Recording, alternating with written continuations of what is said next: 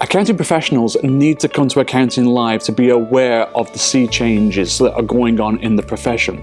It is generally now the case that the vendors, the tech companies, control the narrative of how this profession is progressing, which has changed from how it was 10 years ago.